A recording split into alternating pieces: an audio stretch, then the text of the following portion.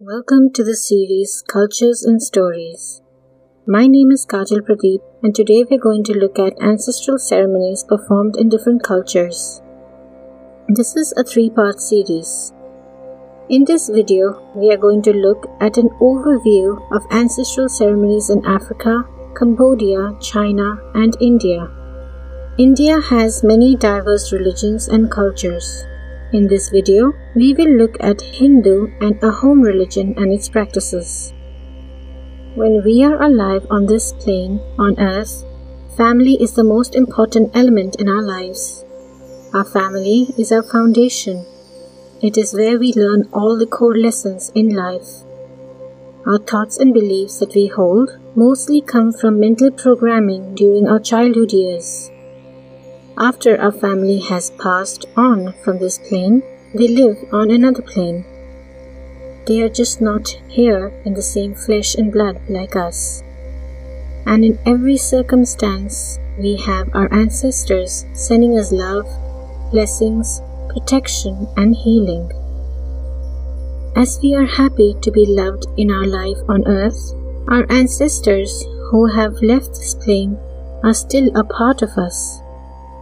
They send us healing and love, and in return, expect us to remember them and think of happy memories. I personally subscribe to the belief that they continue to exist in another plane. In every culture and religion, we pay respect to our ancestors. The procedure and method may vary. Now let's look at the practices in Africa. Ancestral veneration is common throughout Africa. It is often amplified by a belief in a supreme being, but prayers and or sacrifices are usually offered to the ancestors who may ascend to becoming a kind of minor deities themselves.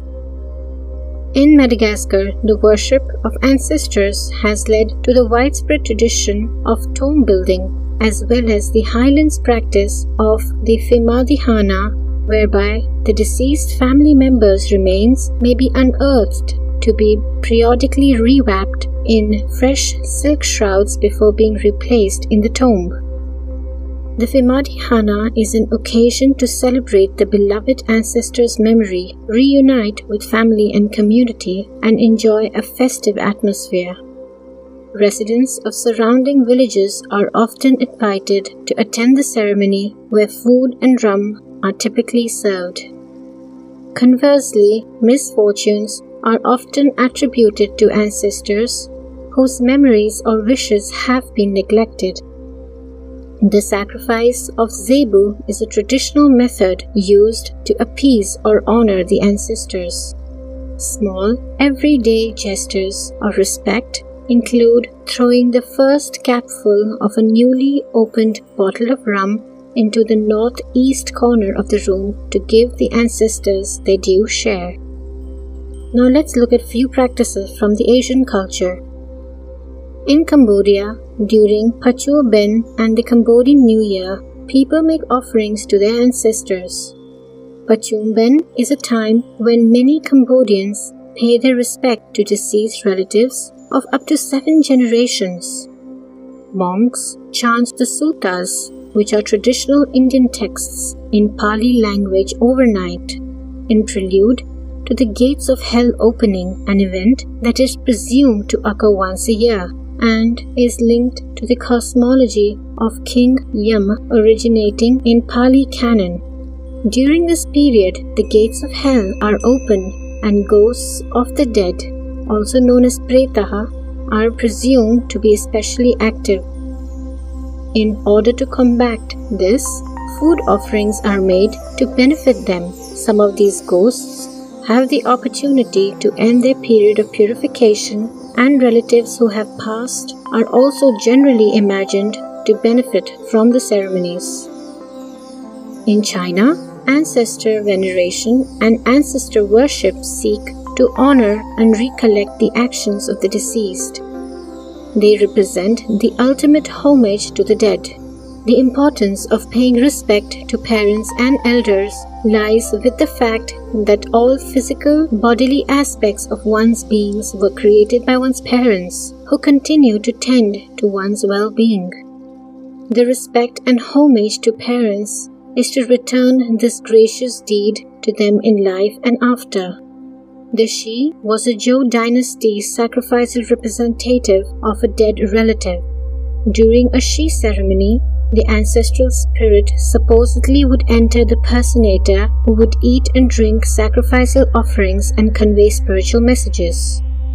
In traditional Chinese culture, sacrifices are sometimes made to altars as food for the deceased. This falls under the modes of communication with the Chinese spiritual world concepts. Some of the veneration includes visiting the deceased at their graves and making or buying offerings for the deceased in the spring, autumn, and ghost festivals.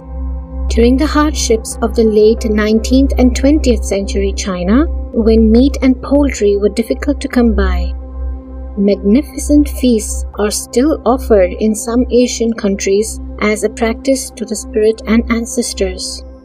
However, in the Orthodox, Taoist, and Buddhist rituals, only vegetarian food would suffice. For those with deceased in the afterlife, elaborate or even creative offerings such as servants, refrigerators, houses, cars, paper money, and shoes are provided so that the deceased will be able to have these items after they died.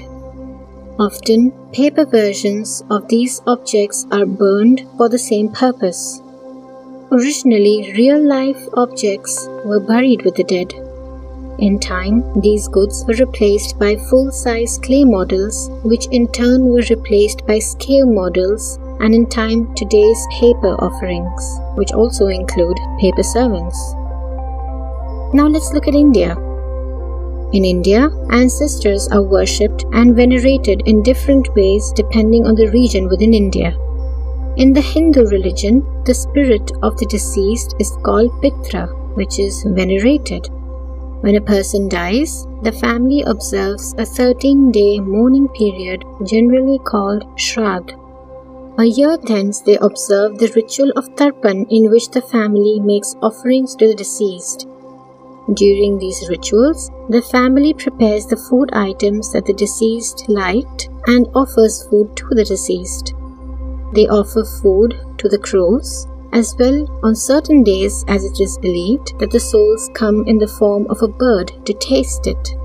They are also obliged to offer Shraddh, a small feast of specific preparations, to Brahmins. Only after these rituals can the family members be allowed to eat. It is believed that this reminds the ancestors' spirits that they are not forgotten and are so loved, so it brings them peace. On Shraddh days, people pray that the soul of the ancestors be appeased, forget any animosity, and find peace. Each year, on a particular date, as per the Hindu calendar, when the person had died, the family members repeat this ritual. The Ahom religion practiced in Assam is based on ancestor worship. The Ahoms believed that a man, after his death, remains a Dam, which is an ancestor, only for a few days, and soon he becomes Phi, which is God. They also believe that the soul of a man, which is immortal, unites with the Supreme Soul, possesses the qualities of a supreme spiritual being, and always blesses the family. So every Ahom family, in order to worship the dead, established a pillar on the opposite side of the kitchen, which is called Dhamkota, where they worship the dead with various offerings like homemade wine, Mahaprasad, rice, and various items of meat and fish.